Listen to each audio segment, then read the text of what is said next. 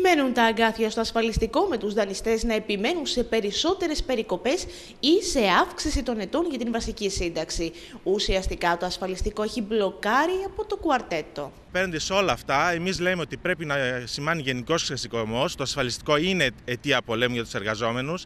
Δεν θα χαρίσουμε σε καμία περίπτωση την κοινωνική ασφάλιση. Δεν κάνουμε βήμα πίσω από την ανάκτηση των απολειών που είχαμε όλα αυτά τα χρόνια οι εργαζόμενοι. Ήδη οι δανειστές διαμηνύουν ότι δεν θα έρθουν στην Αθήνα πριν λάβουν την λεπτομερή κοστολόγηση του ασφαλιστικού, αυξάνοντας έτσι την πίεση και πιέζουν σε ένα τριπλό μέτωπο, απαιτώντας τα εξής. Μείωση της βασικής σύνταξης από τα 384 ευρώ που ζητάει η κυβέρνηση στα 360.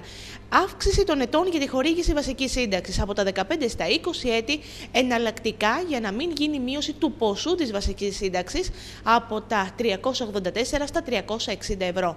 Ακόμα ζητούν θέσπιση οικονομικών κριτηρίων για την χορήγηση της σύνταξης. Θέμα εφάπαξ με επιπλέον μείωση και μάλιστα άμεσα. Ε, το γεγονός ότι ζητάνε τα 380 να γίνουν 360 ε, είναι μια διαφορά υπολογίσιμη αλλά δεν είναι το πιο σημαντικό. Το σημαντικό είναι ότι ζητούν για να πάρει κάποιος ε, σύνταξη να πάει από τα 15 στα 20 χρόνια. Αυτό που προβλέπεται μέχρι σήμερα για κάποιον ο οποίος δεν συμπληρώνει τα 15 χρόνια είναι στο τέλος της, της ηλικίας του θα έλεγα εγώ, δηλαδή μετά τα 67 να του χορηγείται όχι σύνταξη αλλά προηνιακό επίδομα 360 ευρώ.